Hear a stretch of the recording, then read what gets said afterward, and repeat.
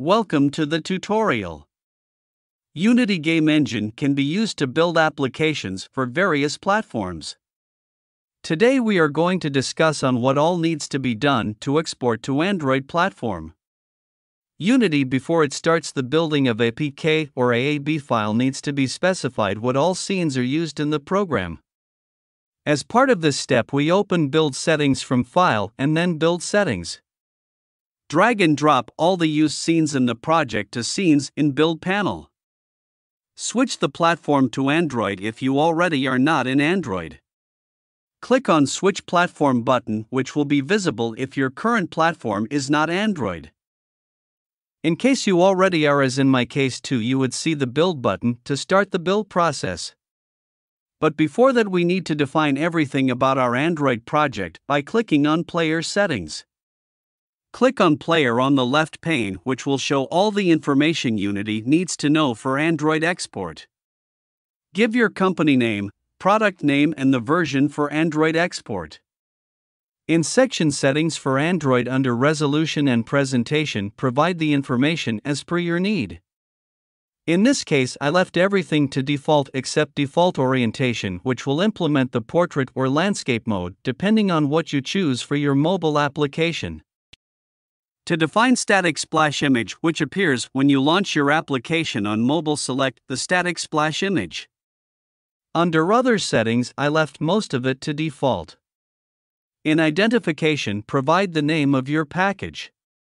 This name uniquely identifies your application when you have published your application to Play Store. Provide the current version number for your project. Every time you make changes to your project, the version number needs to be increment from the previous, otherwise, your final Android file will not be uploaded to Play Store. If it's the first time, set it to 1.0.0. Similarly, bundled version code needs to be increment too with any updates you want for your project. Bundle file with the same previous bundle version number will not be uploaded to Play Store. Provide the minimum API level and target API level for your project. In configuration, set scripting backend to IL2CPP and API compatibility to .NET Standard 2.1. In target architecture, enable ARM v7 and ARM64. In publishing settings, create a key store using Keystore Manager if you have not created one. The Android Keystore system lets you store cryptographic keys in a container to make it more difficult to extract from the device.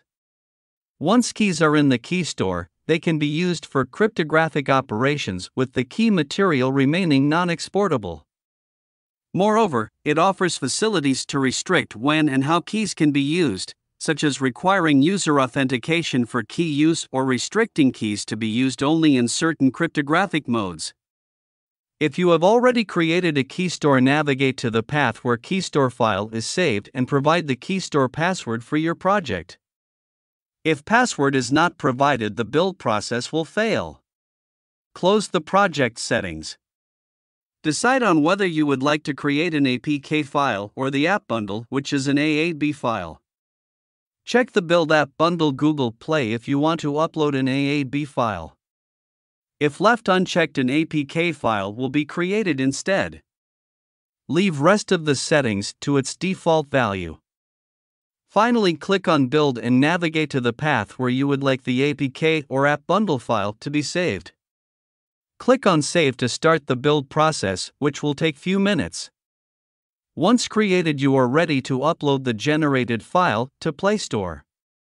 If you like my videos, please like it and subscribe to my channel. Thanks for watching.